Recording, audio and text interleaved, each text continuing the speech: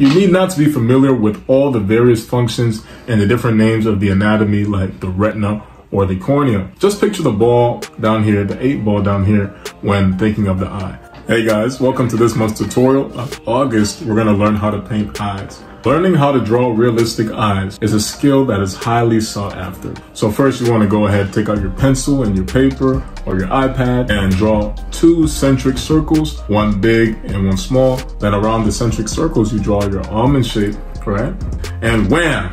That's how you do it, right? I assume that didn't help you. So the problem is you don't have a complete grasp of how to draw the eye. Yeah, maybe you got step by step. But in today's lesson, I'm going to actually break down the eye and explain the anatomy of the eye, how it should sit on the face in various viewpoints, and some basic techniques for drawing them. So without further ado, let's jump right in. Let's begin with a review of the skull. The eyeball is supposed to rest in the eye socket of the skull. To find the eye socket, you can feel the rim of bone above and below your eye. This is crucial because it will tell you exactly where the eyeball is supposed to sit. Just as you see in this example here, the creepy skull from Getty Images, you can see the rim of bone surrounding the eyeball, which is located inside the eye socket. This reference is going to be really useful for us in this lesson. Let's examine the ball on the right of the screen. When removed from its socket, the eyeball reveals a round, jelly-like substance known as the eyeball. It's a common mistake for artists of treating the eye as a 2D shape, leading to an almond shape that looks flat and unrealistic. You must recognize that the eye is a sphere or a ball. The whites of the person's eyes will be lit differently because, as with any sphere, there will be lights and shadows. One thing to remember is that when you look into someone's eyes, you're only looking at a fraction of the person's eyes. Due to the fact our eyelid is covering our skeleton with skin, in that sense, we can only see a fraction of the sphere. You need not to be familiar with all the various functions and the different names of the anatomy like the retina or the cornea. Just picture the ball down here, the eight ball down here, when thinking of the eye. So speaking of an eight ball, the iris and the pupil are also crucial components of the eye's anatomy. According to studies, the placement of the eight ball will help you visualize where the iris and pupil would be on the eye. So let's take a look down here to the various sketches I have. The iris, for instance, this would be the iris. Where the 8 is, we'll actually replicate that with a tiny black dot. The tiny black dot inside the iris is known as the pupil. As you see here towards the right, you see the various different sketches I have of the eye in different angles. It can be drawn using the horizontal and vertical guidelines. The point where the two lines intersect is where I would draw in the pupil. From there, you can draw the iris. In this sense, you will be able to draw the eye in various angles just by using the horizontal and vertical guidelines. But once again, the eyeball can be drawn by locating the horizontal and the vertical guidelines. Let me show you what that is. Let's say this is a vertical guideline for a sphere, and I'll draw the horizontal line right here. From there, I sketch out sphere for the eyeball. Now, where you place the pupil could be at any intersection. It could be here, if you draw it over here. It could be here. It could be anywhere there's an intersection, just like these images here. Always use these guidelines. This is a great drawing method that helps me to construct the eye. This will help you when it gets harder. These are just some pointers that you should keep in mind so that we can go through this process smoothly. Let's begin. I like to call this one the boy in the red hood. It's pretty straightforward because we are looking at an image from face on. Always look for the angle that runs in between the eyes, which is the horizontal line or the center line that crosses in between the eyes, like this. And once again, as you notice, it's a curve and it connects the inner and outer corners of the eye. This lets me know what angles the character is holding their head at. We find the center point that divides the face in half. The vertical line that divides the face in half between the nose and the eyes. Also want you to go ahead and pay attention to the space in between each eye. The distance between the eyes is about equal to the length of one eye. So I would use this to measure the distance. And as you see here, one eye is about the same as the distance in between each eye. If I were to remove this layer here, you could see how the eye would look. And here is where I would indicate the inner and outer corners of the eye. As you see, we place these eye markers along the inner and outermost corners of the eye. But once again, we want to think of the eye as three-dimensional. So for best practice, you can go ahead and draw that ball shape that actually is sitting in the eye. We just can't see it because we can only see a peak of the eye due to the skin covering around the skeleton. However, drawing the eye like this will help you really get the form and grasp the concept of the eye as a sphere. Now, take note of the outer and innermost corners of the eye and see how it follows the eye line. This curve will also work with the eyelid. The eyelid follows this curve, curves around the sphere. Now we're gonna try to draw this ourselves. First, we're gonna find the center line that runs in between both eyes and the curve almost facing down, curve like this. We're gonna find the vertical line that divides the face in half. Put it right here. Doesn't have to be perfect, but do your best. Now we're going to look for the distance in between both eyes. And I would say about right here would indicate the distance between two eyes. And this length here is going to help us determine the length of one eye. Measure this. And the same here, length of one eye. Try to draw it on the line so it does not look wonky. We don't want our drawing to look unrealistic. So we use, that's why we're using guidelines. From this point, we want to draw the spheres for what? The spheres for the eyeballs. With any face, we have eyeballs, we just can't see it due to the skin covering it up. Now we can draw in the eyelid, and the eyelid just wraps around the sphere. Or the iris, as you can see on this, where you have that protrusion kind of facing up, is where you actually want to draw the circle. The eyelid is cutting off a section of, of the top part of the iris, and you can draw it down to the eye line and do the same for the other side. The bottom lid will barely touch the bottom of the iris. You can erase a little bit. The eyebrows, they kind of angled, uh, touching the eye, so we're just gonna draw in the eyebrows. We kind of have a believable looking eye. We drew the center line between each eye, then we also drew in the iris. Now we also need the pupil. Remember the pupil is just another smaller centric circle inside of the iris. Also add the little eyelid on top for the folds, on the eyebrows, perfect. I like to darken the top lid of the eye I just because I know that's where the most eyelashes are going to be. let's talk about rendering the eye. So usually when gonna identify the light source and reflect that into the whites of the eyes. As we see in the reference here, the whites of the eyes is much wider on this side in comparison to this side. And you can also see the shadow coming from this angle. So we can determine that the light is coming from this direction. Understand? Touching the eye like this actually. If you don't know what rendering is, it's basically adding color and detailing your drawing. First things first, we're gonna look for this neutral color for the whites of the eyes. I've been saying the whites of the eyes. Whites of the eyes, like you see here, they're not actually white. They're more of a neutral color. So I will go down in the value maybe about here, should be good. Once again, the light is coming from this direction. We wanna mimic that in our drawing here. This side is gonna be much darker than one side. And the bottom is gonna be quite lighter as well. Okay, now also as you can see here, there is a much darker rim of shadow along the top close to the eyelid. So we're gonna go ahead and add darker value of gray here, just along the top of the eyebrow, especially on this eye. Good.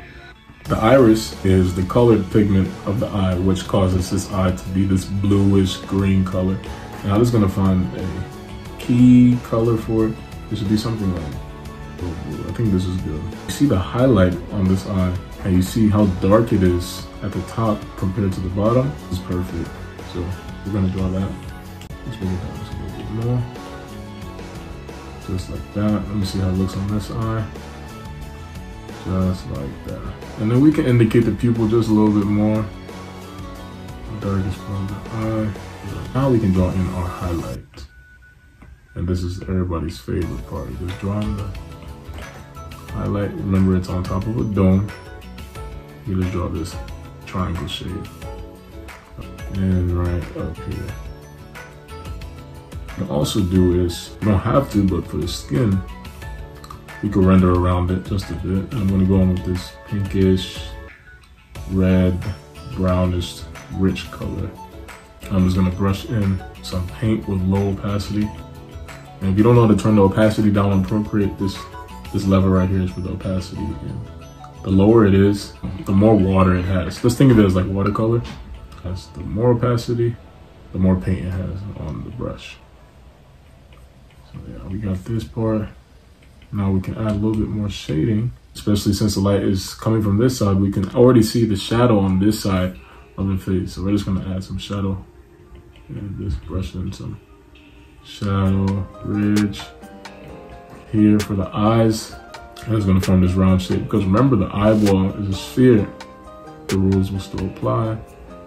The folds of the skin here, ball there. You can do the same on the other side. Don't put don't put too much darkness. You might make your character look old or very tired with a lot of bags. It just depends on the reference. Be mindful of that.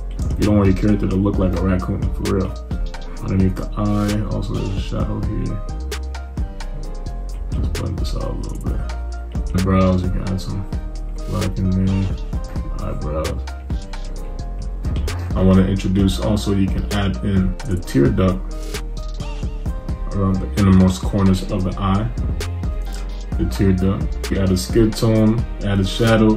Now we add a tear duct, we can also add eyelashes. For the eyelashes, remember to always add subtle strokes radiating in different directions. You never want to do it like super long like this, like this. It looks very silly. Even underneath this white part here would be eyelashes just a little bit. And this part here, this light white part would be the waterline and you can add some lighter strokes in here just to show the thickness of the eye. And this really helps. See the difference between this eye, the right eye and the left eye? We can go back on this side and there is the waterline. You can see the waterline around the eye. Very nice. Just follow the tear duct and wrap it around. Some highlights in there. If we made this a little darker, we add some highlights. That's pretty much the eye covered in a frontal view. So now we have a reference of our image in three-fourths view. It's not the same as the last reference. Hopefully, if you can find the same reference, then try to use that, but the same method will still apply. First, we're gonna look for the angle between the eyes. So the horizontal curve that runs in between the outer and innermost corners of the eye will look just like this, like this. And you can see how the curve is following the shape of the head. Since the head is tilted upwards and she's looking up, the curve is going to look almost like this, running in between the outer and innermost corners of the eye. That's the horizontal line. Next, we're going to divide the face in half with the center line from the top right down the middle. Perfect. And this is going to help determine the angle of the face. If we move the reference, we'll be able to see, oh, I drew it on the reference. If we move the reference, first let's draw it. One, two. If you can get on the first try, just keep trying, you're gonna get it. We can see the angle of the face. So we can tell that the head will be looking upwards, like so. Now, this is the eye line. This is where the eyes are actually going to sit. Whenever you have a drawing, make sure to draw on the eye line. A lot of times our eyes look crooked because we don't use guidelines. One eye may be slanting down or the other eye may be slanting upwards. It may look funny. As we move the layer on top, now we can find the length of each eye. First, find the distance between the eye, which is right here. The distance between each eye will be right here. So the distance between each eye will be the inner corners of the eye. So I'll mark that down right here. Then we're gonna look for the outermost corners of the eye right here of the subject. And we're gonna move this layer. And as you can see, we now know where to place the eyeballs. First thing first, we look for the distance. Is it equal? We wanna make sure all three are equal in length. So the distance in between each eye is equal to the length of one eye. Remember, that's very important. So we can go back to the reference again. I want you to think of the eyes as 3D. We're gonna draw this eye socket right where the eyebrow is, this dark cave area will be the eye socket. And as we know already, the eyeball sits inside this eye socket. And we can draw the eyeball right in the markers we placed here. The eyeball is 3D. Remember, we can only see a peak of the eye due to the eyelid so this is what the eye actually looks like. Now for the eyelid, you see how the eyelid goes up and wraps around the sphere? You also want to mimic that. Let it touch the outer corner to the inner corner. The highest point of that curve is actually where you want to draw in the iris. This is very helpful. This method helps a lot. And within the iris, you can draw in the little pupil, pupil for this side. I like to zoom in a lot, but you can zoom in and zoom out. Boom, remove this layer. And we now have an eye. We just erase all this extra fluff. It's always important to have these guidelines. Even now, you can even draw in the nose as well. And the eyebrows if need be. And the eyebrows usually just an inch above the eye. Something like that. Another thing to take notice, when you're drawing in three-fourths angle, one side of the eye is larger than the other. And it's this side, the side that's closest to the camera is larger because of perspective. So you also want to apply this to your drawing. They're not equal in length. This side is much smaller. The left side is smaller than the right side due to the fact of perspective. So we're going to try to draw this on our own. First things first, we're going to draw the angle in which the eye is sitting in. Remember the curve is looking up, we're going to draw the curve. This is where the eye will sit. Now we're gonna draw the vertical guideline. So we know the angle of the face. Now we're gonna find the innermost corners of the eye, about right here and about right here. Then we're gonna find the outermost corners of the eye, right here. Remember to draw it on the curve. But once again, what side is larger? The right side. So this side is gonna be just a bit larger than the left side. Now we're gonna go ahead and draw in our spheres practice. Once you get the grasp, you won't have to draw spheres. I don't usually draw spheres when I'm drawing because I already understand that the eye is three-dimensional, but it is helpful. And the sphere is gonna kind of go where the nose would be. From there, we can find the eyelid. Now this will help us understand how the eyelid wraps around the sphere. So we're gonna draw the first around at this point right here and touches the outermost corner. This section is gonna wrap around and touch this corner it's not gonna go past markers we place down. So now we can use this measurement tool. I think I may have drawn it too close to each other, so I'm just gonna push this part out just a little bit. That's perfect. And now remember that top part where the eye protrudes up here is where we're gonna draw the iris. So now we're just gonna draw iris, and the iris is gonna touch that line. It should not go below the line like this. It should touch this line right here. This is gonna help you draw that, the lower part of the eye. Draw this part of the eye here and connect it.